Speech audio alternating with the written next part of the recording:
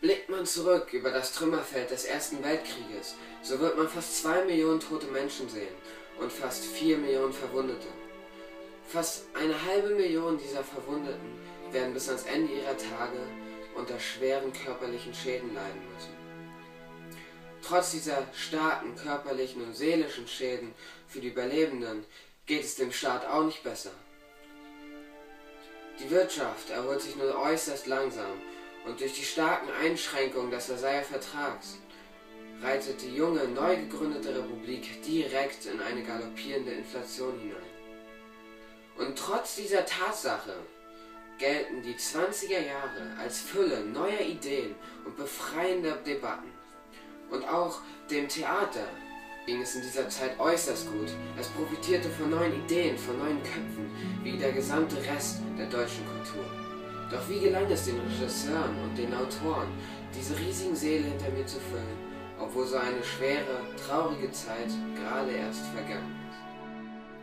Es ist ein Wunder, dass das Theater unter solch ungünstigen Bedingungen florierte. Die katastrophale wirtschaftliche Lage und das raue politische Klima hätten eigentlich jede ernsthafte Theaterarbeit unmöglich machen müssen. Doch das Gegenteil war der Fall. Zehn aufregende Jahre lang, von 1919 bis 1929, präsentierte das Deutsche Theater Aufführungen von solcher Vielfalt und Originalität, dass Weimar Deutschland weltweit als Zentrum der Theaterinnovation galt. Die Revolution und die Errichtung der Republik hatten auch für das Theater unmittelbare Konsequenzen. Die Zensur wurde abgeschafft, bisher verbotene Stücke und unterdrückte Ideen kamen nun zu Gehör. Hoftheater wurden in den Besitz der öffentlichen Hand überführt, bei Übernahme durch die neuen Provinzregierungen wurden einige zu Staatstheatern, die übrigen wurden Stadttheater und damit städtischer Aufsicht unterstellt. Ihre adligen Leiter wurden durch Männer von demokratischer Gesinnung ersetzt es gab sogar schon Versuche, ein Mitspracherecht der Schauspieler und des Bühnenpersonals bei künstlerischen, politischen und finanziellen Entscheidungen einzuführen. Abseits von den Kulturzentren entstand ein neuer Typ Tourneetheater. Das waren meist junge Schauspieler, deren Ideal, gutes Theater in die kulturell benachteiligten ländlichen Regionen zu bringen, auch Teil des Kulturprogramms der Republik war. Gleichzeitig konnten sie hier, wenn auch schlecht bezahlt, dem Konkurrenzdruck, der im privaten Sektor herrschte, ausweichen.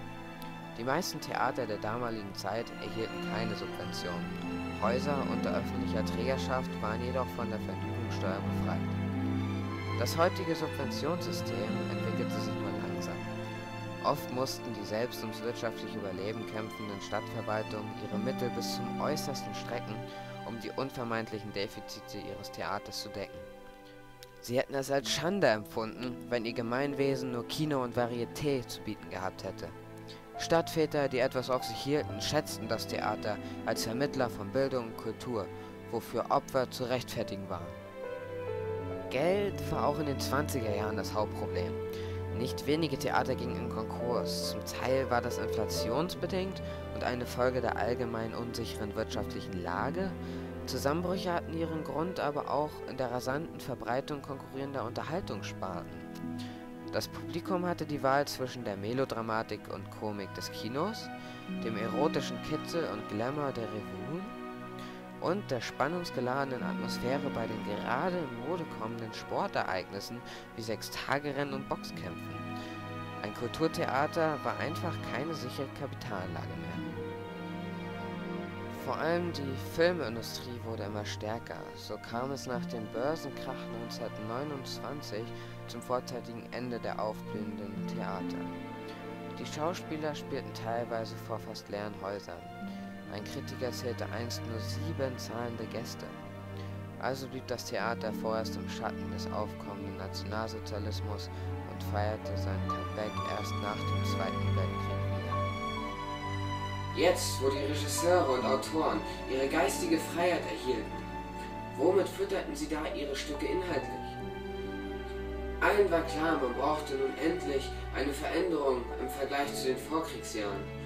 Und so entstanden neue Theaterformen wie das epische Theater und das politische Theater. Die epische Theaterform hatte seinen Vertreter oder Begründer in Bertolt Brecht. Brecht wurde 1898 geboren und wandte sich, nachdem er als Lazarettsoldat den ersten Weltkrieg überlebt hatte, der Lyrik zu und schrieb in Berlin Theater. Das berühmteste Theaterstück der 20er Jahre, die Drei-Groschen-Oper, stammte aus seiner Hand. In diesem Stück geht es um Bettler, Huren, Räuber, allgemein geht es um die Kriminalität der Großstädte. Und eben dies machte die epische Theaterform aus. Brecht wollte die Zuschauer nicht in Illusionen hüllen. Er wollte nicht, dass sich die Zuschauer in Figuren einfühlten, sondern dass genau über diese Figuren geurteilt wird und diskutiert wird, um einfach für eine bessere Welt zu sorgen, indem er auf die schlechten Punkte, die draußen vorherrschen, aufmerksam macht. Das politische Theater jener Zeit hatte seinen Begründer in Erwin Piscator. Piscator war ein sehr erfolgreicher Regisseur und arbeitete mit Schriftstellern wie Brecht zusammen. Er machte sich nach dem Ersten Weltkrieg zur Aufgabe, durch politisches Theater noch politisch unschlüssigen Einwohnern der Republik den Gedanken des Kommunismus einzupflanzen. So waren seine Theater einfach, um verschiedene Bevölkerungsschichten zu erreichen und griffen häufig auf aktuelle Themen zurück. So wurden seine Stücke teilweise sogar zum Wahlkampf eingesetzt, nämlich 1924 vor den Reichstagswahlen als Wahlveranstaltung der KPD. Anhand des Theaters kann man wunderbar die Fülle der 20er Jahre erkennen. Es ist schade, dass diese nur so eine kurze Zeit überdauerten, denn wer weiß, was sie noch mit sich gebracht hätten. Was wäre passiert, wenn Theater und Co. wohl nicht durch den aufkommenden Nationalsozialismus gebremst worden wären?